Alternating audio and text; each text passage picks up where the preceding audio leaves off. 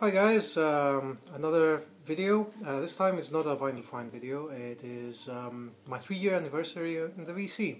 So in uh, February 8th, 2010 I uploaded my first uh, video, a vinyl intro video, which at which time I didn't have any records here.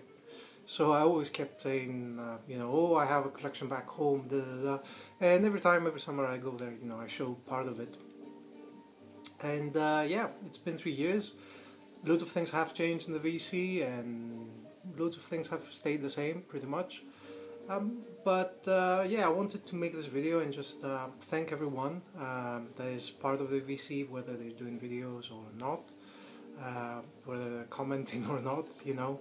And thank you guys for watching my videos. I mean, you know, if I you weren't watching I wouldn't be doing them. Thanking the guys that are doing videos because I do watch them and I do learn stuff.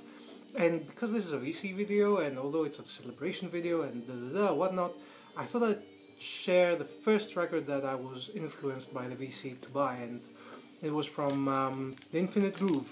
Uh, he doesn't I, I think he has a he has a VC channel but he hasn't he has changed the name um, and he's not doing any videos anymore.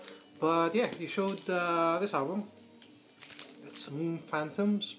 Out on Important Records is uh, one of uh, the many uh, side projects from Bardo Pond. Um, we do share um, uh, same kind of affinity if you like um, and love for, for Bardo Pond and their psychedelic noise uh, so um, yeah, he showed this. I, I checked it online. I found it for a very good price, which is rather surprising here in the UK. And um, it turned out to be from Norman Records, which is my favorite um, online shop. And uh, I got it. And um, that started the downward spiral into the vinyl uh, thing again because I had stopped at that time. So anyway, yeah. Um, thank you guys. Uh, as I said, I want to thank you uh, for watching. Thank you for making videos. Um, it's been three years, and um, yeah, I will be. I will try to be more consistent. I've said this a lot of times, but you know, it happens sometimes that you are not able to make videos. Right now, I'm home alone, so it's kind of easier.